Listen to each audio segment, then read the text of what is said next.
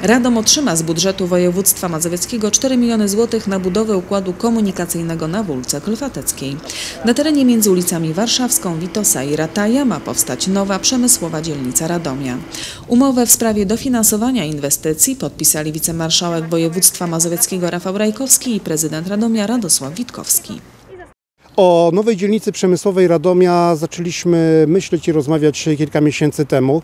To był jeden z głównych elementów e, też i kampanii wyborczej w e, tych wyborach z jesieni 2018 roku, bo właśnie jasno wskazałem, że tu na Wólce Krwateckiej chcemy, aby powstała nowa dzielnica przemysłowa Radomia.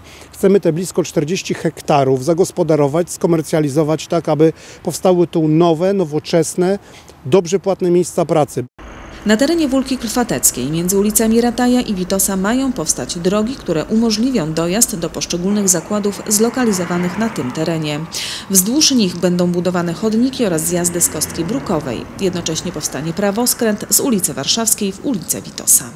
Wraz z budową kubaturowych obiektów będą powstawały kolejne elementy drogi, tak aby sobie wzajemnie nie przeszkadzać, kiedy firmy będą budować sprzęt budowlany, ciężkie dźwigi i koparki będą jeździć po podbudowie, kiedy będą kończyć, my będziemy układać krawężniki i asfalt tak, aby niczego na żadnym etapie nie zniszczyć. Dlatego też, Szanowni Państwo, ta inwestycja rozpisana jest na 3 lata budowlane. Zainteresowanie potencjalnych przedsiębiorców, jak mówi wiceprezydent Katarzyna Kalinowska, jest duże.